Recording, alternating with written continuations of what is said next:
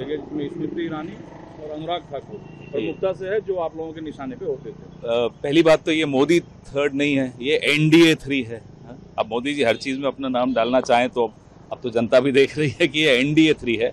और जब आप मोदी थ्री बोलते हो तो जरा नायडू साहब से और नीतीश जी से भी पूछ लो कि ये मोदी थ्री कहेंगे या एनडीए थ्री कहेंगे।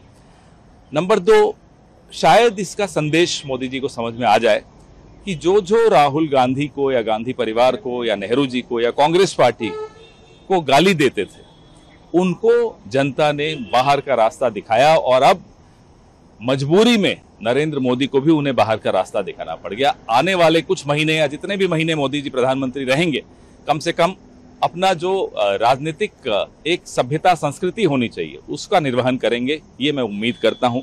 नंबर तीन जो हिंदू मुस्लिम की बात सबसे ज़्यादा करते थे अनुराग ठाकुर उनको भी इनको बाहर का रास्ता दिखाना पड़ा। तो ये संदेश जो लोगों ने दिया है शायद नरेंद्र मोदी जी को स्पष्ट सुनाई दे रहा है। लेकिन जिस अजीत पवार को प्रफुल्ल पटेल साहब को बीजेपी ने बड़े उत्साह के साथ अपने साथ लिया वो लोग अब नाराज़ दिखाई दे रहे हैं। उन्हें मंत्री पद ये मैंने आपको पहले ही दिन कहा था जिस दिन आप लोग कह रहे थे कि गठबंधन ये नरेंद्र मोदी हैं ये अपने कैबिनेट तक को एक फ़ोटो फ्रेम में बर्दाश्त नहीं करते। अकेले फ़ोटो फ्रेम में रहने वाले की जो आदत जिसको हो जाती है, वो गठबंधन की सरकार कैसे चलाएगा? वो दो लोगों को साथ लेकर कैसे चल पाएगा? वो नहीं चल पाएगा।